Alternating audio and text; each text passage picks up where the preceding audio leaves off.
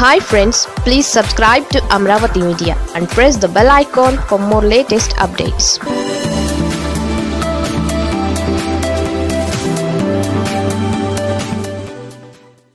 నాగార్జునకు ఏదో తేడా కొడుతున్నట్లే ఉంది. పాపం నాగార్జున మళ్ళీ అనిపించింది ఇలా. ఎందుకు? చెప్పుకుందాం. అప్పుడెప్పుడో తాతల జమానాలో వచ్చిన శ్రీరామదాసు.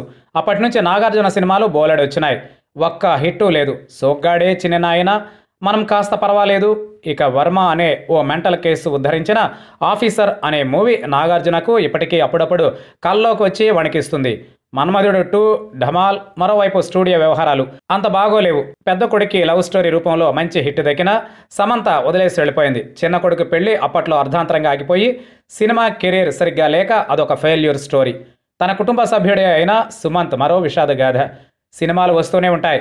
ఫట్మన్ పేలిపోతూనే ఉంటాయి. చివరికి నాగార్జున హోస్ట్ చేసే TV reality show Bigg Boss కూడా ప్రస్తుతం తాజా ర్యాంకింగుల్లో బాగా డౌన్. సండే షోకు కూడా ఐదున్నర టీఆర్పీలు మాత్రమే వచ్చాయి.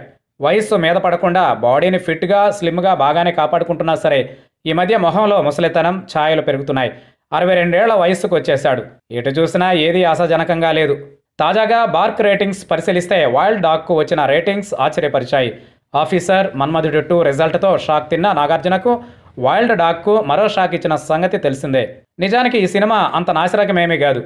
నాగార్జున కాస్త మనసు పెట్టి చేసిన సినిమాయే. కరోనా వల్ల షూటింగ్కు మధ్యలో బ్రేకులు పడినా ఎలాగోలా తిప్పలపడి గత ఏప్రిల్లో విడుదల చేశారు. థాయిలాండ్లో కొంత షూటింగ్ ప్లాన్ చేసినా సరే కరోనా కుదరనివ్వలేదు.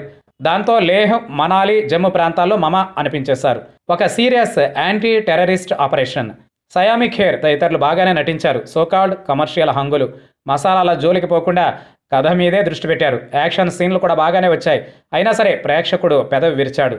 బార్క్ రేటింగుల్లో దానికి దక్కిన టీఆర్పీలు జస్ట్ నాలుగు మాత్రమే.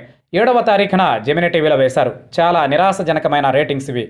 ఓటీటీ ఓవర్సీస్ ఇతర భాషల ఆదాయం ఎంతో మొత్తానికి పోయింది ఎంతో తెలియదు కానీ టీవీకి సంబంధించి కూడా ఫ్లాప్. అనేకసార్లు టీవీల్లో వేస్తున్నా సరే కొన్ని సినిమాలకు ఇప్పటికీ ఈ రేటింగ్స్ వస్తూ ఉంటాయి. అలాంటిది ప్రీమియర్ షో వేసినా నాలుగు రేటింగ్స్ దాటకపోవడం మైనసే. అసలే గ్రహచారం బాగాలేదు.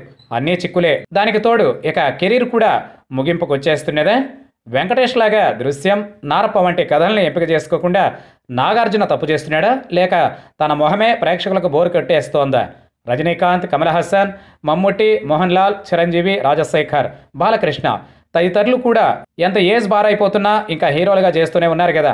మరి నాగార్జునకే ఎందుకు ఇలా ఏదో భారీ తేడా కొడుతోంది. నాగ్ భయ్యా.